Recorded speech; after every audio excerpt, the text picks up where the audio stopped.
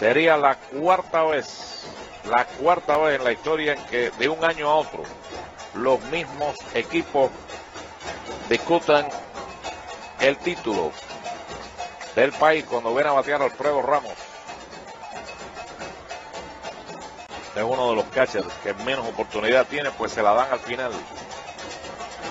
Saco foul para que tenga también su turno al bate. Están de fiesta los alazanes. Los Tigres quedarían en el cuarto lugar. Santi Espíritus quedaría en el tercer lugar. Tiene podio Santi Espíritus.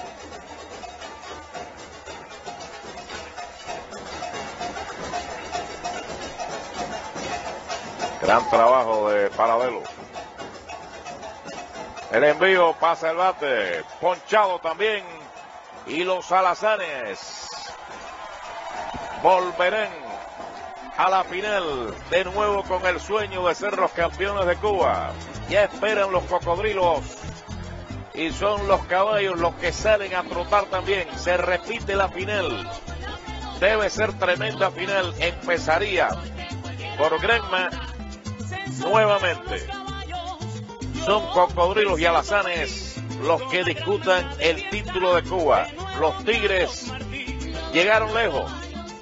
Esta vez quedan cuarto, mejor temporada, pero les falta un poco para poder también estar en esta batalla por el título cubano.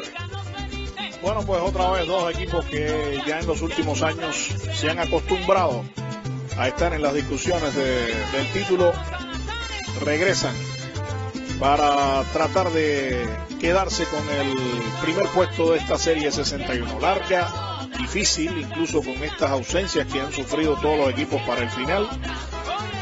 Pero lo cierto es que han sido eh, tanto Matanzas como Granma